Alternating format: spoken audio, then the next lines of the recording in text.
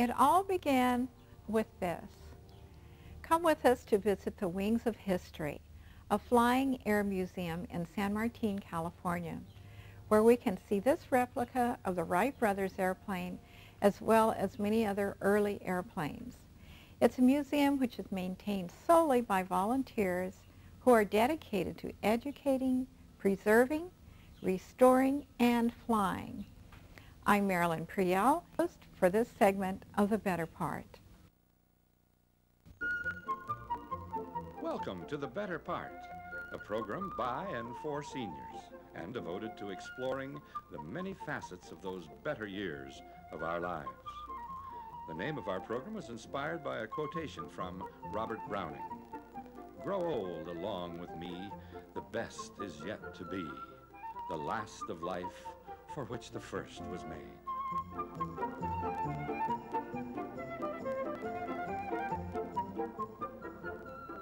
Now, sit back and enjoy a program made especially to provide seniors with useful information, plus some lighter moments to brighten your day.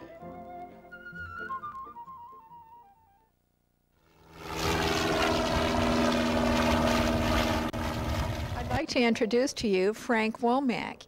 He is a retired children's and a, uh, quite an active volunteer here at the museum. Hi, Frank. Good morning. We'd like to welcome all of you to the Wings of History Air Museum, and uh, we'll be taking a look around at some of the projects we're working on, some of the things on display here. Wonderful. Tell me first just, this is called a flying museum, so that means it has more than just airplanes. Is that correct? Uh, correct. We have a number of uh, aviation artifacts as well as airplanes, and our goal is to have airplanes that people can see fly, hear the engines run, and really participate in some of the history of uh, aviation. So these uh, do go up in the air, and some of the volunteers do fly these planes. Correct. Uh, not all of the planes fly, but our goal is to have at least part of the old airplanes flying, and our members do fly them. So obviously, all of the members are not pilots. Maybe some are mechanics, that sort of thing. Right. We have uh, people here from all walks of life: engineers, uh, children's dentists, uh, uh librarians, uh, people from all walks of life that love either the history or the airplanes or both. I should tell you that this is an all volunteer museum. They raise all their own money, they do all the work here, and um, it's really impressive to me. Well, thank you, Marilyn. We have a lot of fun. It's an ideal uh, opportunity for retirees such as myself that uh, enjoy this type of thing to be involved because you can uh, participate in whatever aspect of the uh, museum that uh, grabs you. Uh, perhaps even just talking to the people who come through if, if you didn't want to be a engine mechanic or make propellers or something like that. That's uh, true. We have uh, docents here every weekend as well as during the week, and uh, we have people that work in the library. Uh, so we welcome any and all that would like to be involved in our organization. I've seen uh, little model airplanes, and uh, in your gift shop, I've seen aviation, old aviation books and magazines which are for sale. And I know that your library has just all kinds of uh, probably manuals for repairing airplanes and that sort of thing from the old days. They're all donated, are they? That's true. We probably have four to 5,000 uh, volumes and magazines in our library, including manuals for uh, reconstruction of airplanes, uh, information for model airplane hobbyists, uh, plus just general reading and videos. How about history? Oh, they have uh, books on history, uh, just about every aspect of aviation that you could think of. Well, um, are you? Oh, oh, I was just going to ask you real quickly. If the general public wants to come out and just browse through your library, can they do that? On Tuesdays and Thursdays, we have people there in the library. Weekends, it would be by appointment only. Okay, well, we're we're here now in the restoration shop, where I guess this is a starting point. When you first get them, you haul them in and start work on them, or That's correct. Uh, everything that we have here has been donated, and uh, a lot of them are what we call basket cases when we start. They're basically kits of airplanes, lots of little pieces, and we have people that do welding, woodwork, fabric work, and uh, uh, restore these airplanes to probably better than new condition. Okay, well, where shall we begin? Well, right overhead, Marilyn, is uh, one of our uh, interesting exhibits. Uh, the big glider or sailplane up here was one of the very early uh, success stories in America. It was the first sailplane to do sustained soaring flight, something like 14 hours down off of Point Loma. The other uh, interesting thing about a sailplane is that Charles and Ann Lindbergh both flew that airplane. We have videos of uh, Charles in the airplane over in Carmel Valley. This is a project that one of our members is working on. It's a 1917 Curtiss OX-5 engine. It was used very widely during World War I in uh, the good old Jenny training planes. It really wasn't a very good engine, developed 90 horsepower, uh, they uh, were, it was water cooled with a single ignition and uh, ran only about 50 to 100 hours between overhaul. And when you have only one ignition system, they fail, and when it fails, you land. But anyway, we've uh, found enough parts that this engine will be a flyable engine when we finish with it. I see one spark plug here. That's right, Marilyn. There's one spark plug because this is a single ignition engine. And uh, the, with a modern aircraft, you would have two spark plugs and two magnetos. This engine only has one of each. And it also has a water pump down here, and water pumps fails. And when the cooling stops, the engine boils over and the engine quits. Who said I didn't know anything about engines? There you go. That was a good question. Marilyn, this uh, little engine is what we call a radial engine. And uh, back in the 30s, the radial engines were the most popular aircraft engines. Uh, this happens to be a Lambert M5, and uh, we, of course, have not done any restoration on this yet. It was just donated to us from a family down in Santa Paula. But these, uh, these powered many of the light planes back in the 30s. Uh, the radial engine was first widely used by uh, or publicized by Charles Lindbergh in his flight across the Atlantic. And after that, the uh, radial engines uh, tended to take over from the old World War I OX-5 engines. I've seen a lot of sailplanes here. Tell me about those. Well, we do have quite a variety of sailplanes, Marilyn. Of course, we talked about the Bowlus sailplane. A couple of others that we have, uh, the seaplane glider up here, and it was towed up by a motorboat, and then they would cut loose and glide back down to the water. Very unusual sailplane, I believe the only one of its type left in existence. We also have a project uh, of, called a primary, an Alexander primary glider, just a steel tube framework with wooden wings. And back in the 30s, they towed that up with a Model A or whatever car they had available, and they taught themselves to fly with these. They would tow it up one foot and cut loose, and two feet until they could make a circuit of the field if they were lucky. Uh, the wooden wings for that sailplane are over against the wall. Uh, the wood for airplanes is most commonly spruce, and it's uh, very carefully selected. It has to have X number of grains per inch. The taper and the grain can only be so much per foot. No pitch pockets, no defects at all. Uh, so therefore, the spruce has gotten to be a little bit expensive, and it tends to be just uh, lots of hand labor, uh, lots of little pieces cut out, glued together, little nails holding it together, and then covered with a fabric. And the, the fabric nowadays, instead of using cotton or linen, such as was used in the early days, is usually a Dacron. The trade name is Ceconite, but uh, it's glued on, shrunk with an iron to tighten it up, and then the finish is applied. Okay, the, this place that we're in now, this building, wasn't this donated or it was a legacy of some sort? That's correct, Marilyn. Uh, a fellow by the name of Harold Bossart uh, named us in his will and provided us with us to build this first building.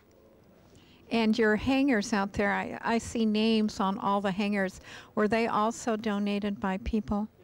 Actually, the names on those hangars are usually uh, from people that have uh, donated an extraordinary amount of work and effort to the museum. Uh, we've earned a lot of the funds for the museum uh, through the Watsonville Flying and Air Show, which we sponsored for many years. And then, of course, we've had other uh, gifts and bequests along the way that's helped. Okay, let's go out to the hangars and show us the big planes. Okay, we'll go look at the good stuff.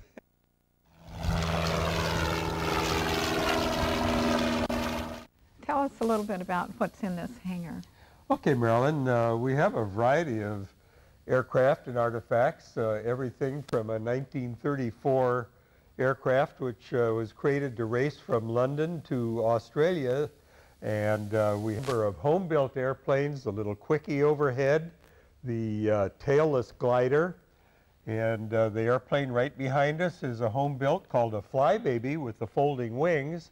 Behind it is a 1928 biplane, which was built to uh, give rides. The barnstormers use them a lot.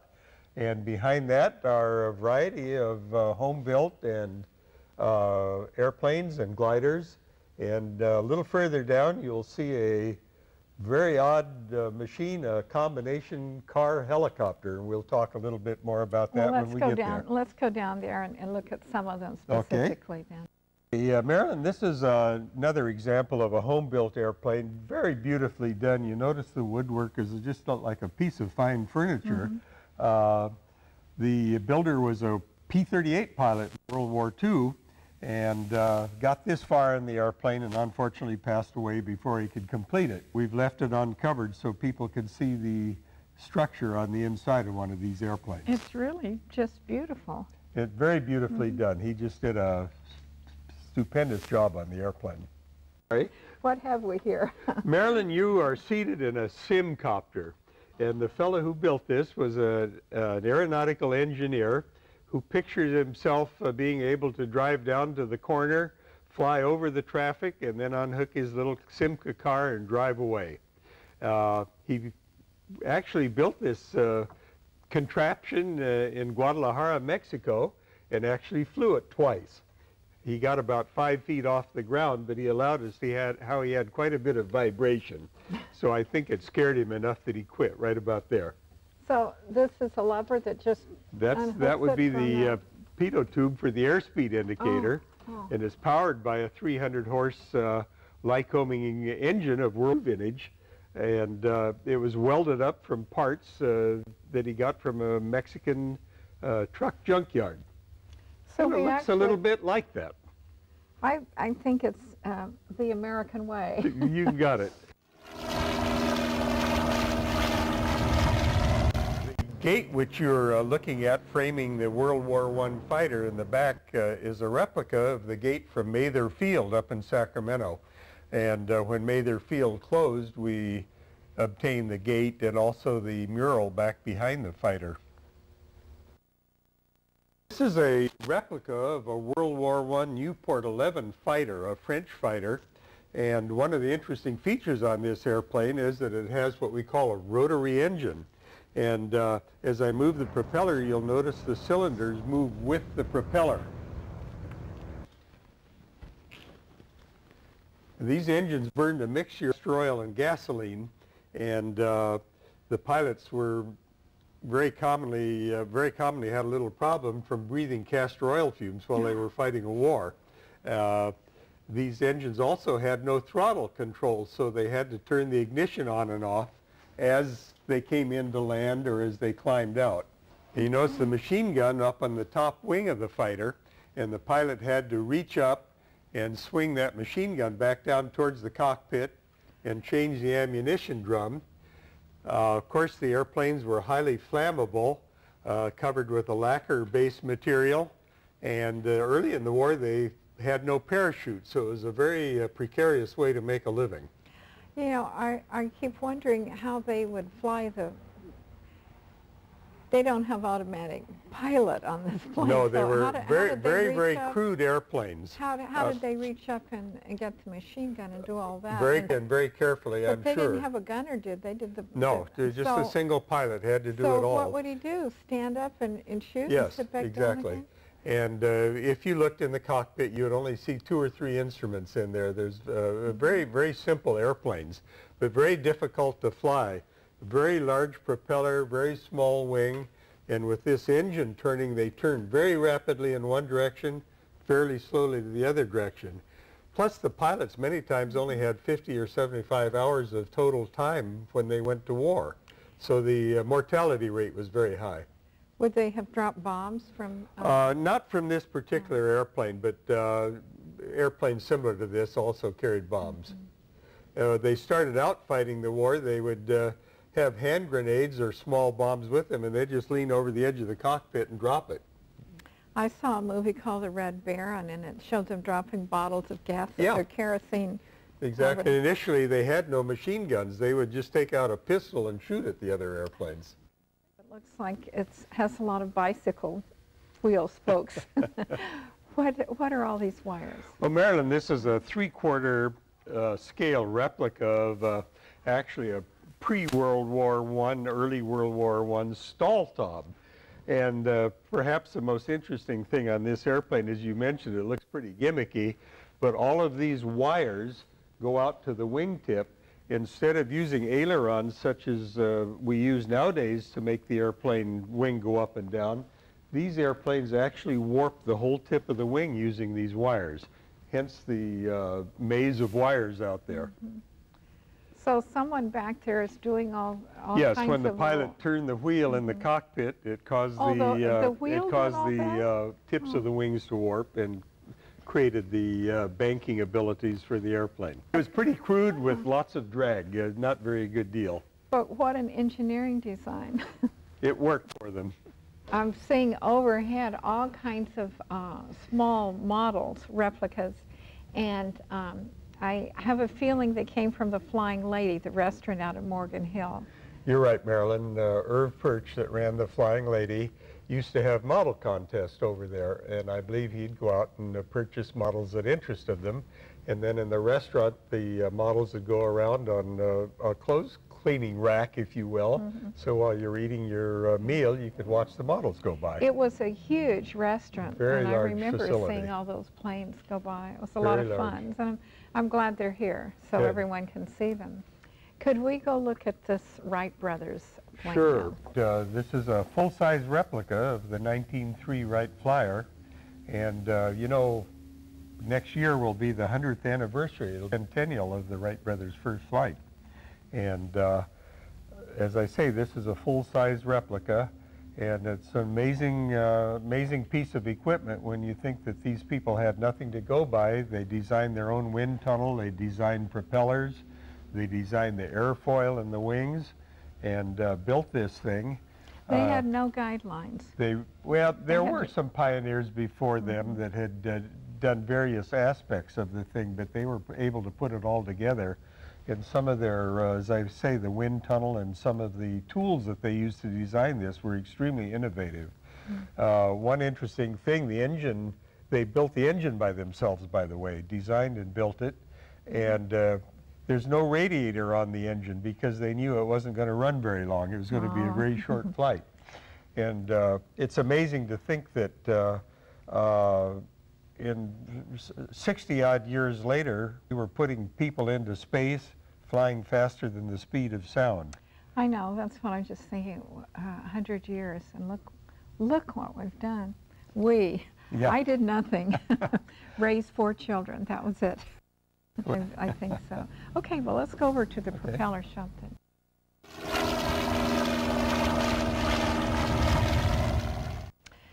We're in a really special part of the museum now. It's the Ole Fahlin Propeller Shop.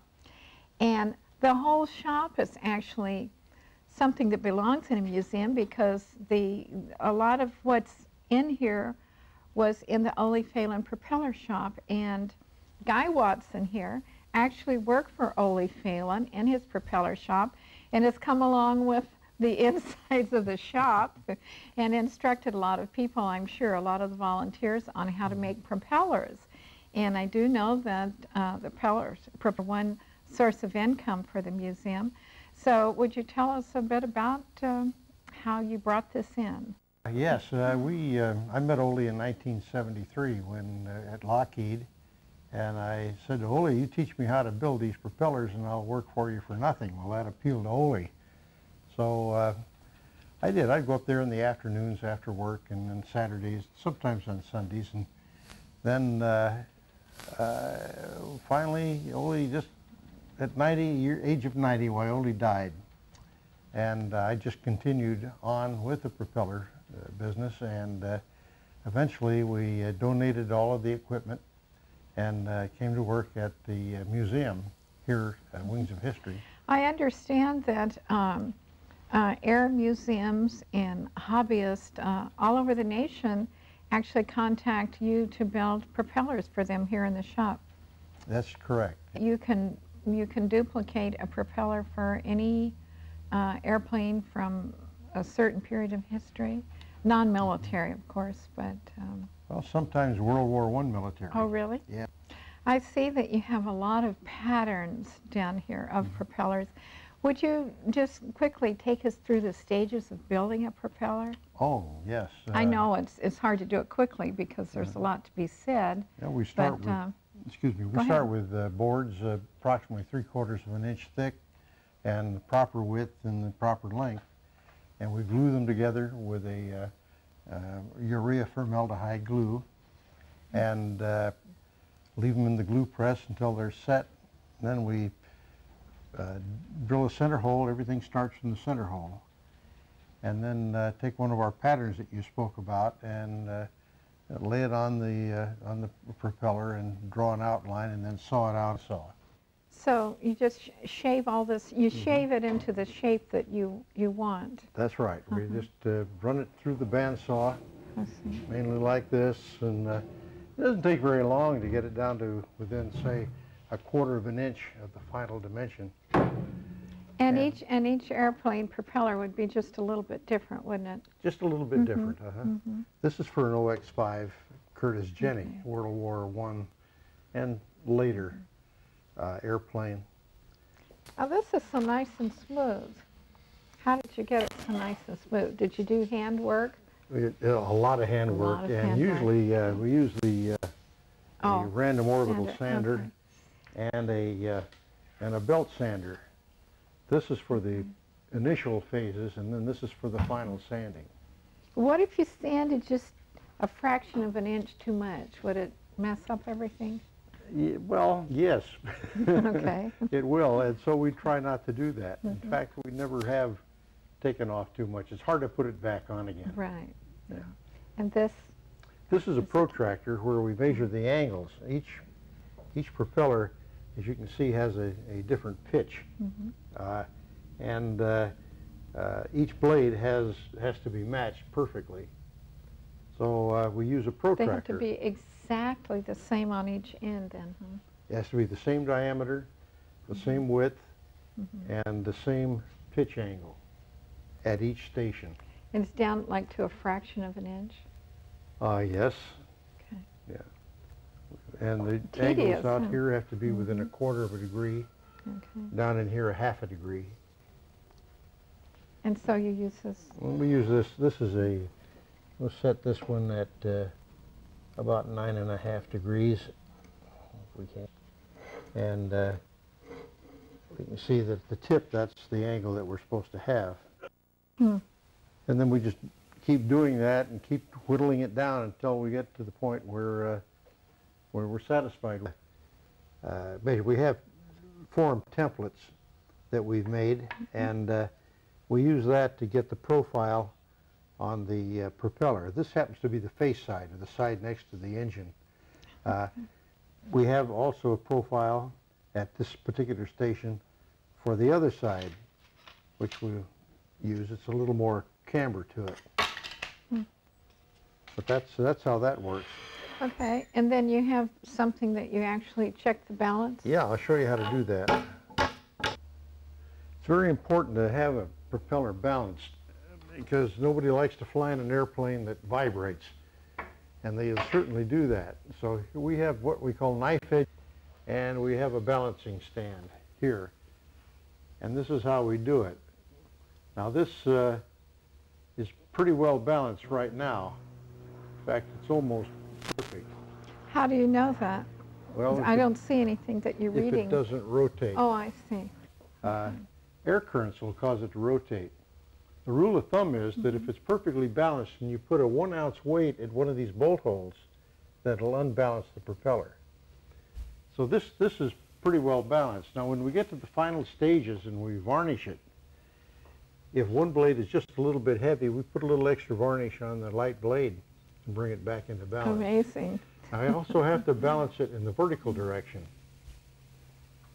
because uh, it's, they sometimes, one side's a bit, a little bit, little bit heavier than the other one because of the density of the wood. So uh, uh, this one is not quite balanced vertical direction. As you can see, it's moving. So we'll work on that for a while until we get it balanced properly. Well, this even has to be balanced, doesn't it? Because if it's not setting, Yeah, we, we um, check it after every earthquake. We want to thank our docents for this nice tour today. If you would like to take the tour of the museum in person, they're located at 12777 Murphy Avenue in San Martin, California. That's 12777 Murphy Avenue, San Martin, California. We're very happy you joined us. And if you have ideas on programs you would like for us to produce in the future, or if you'd like to become a member of our crew, contact us at the Cupertino Senior Center. Thank you for joining us, and goodbye for now.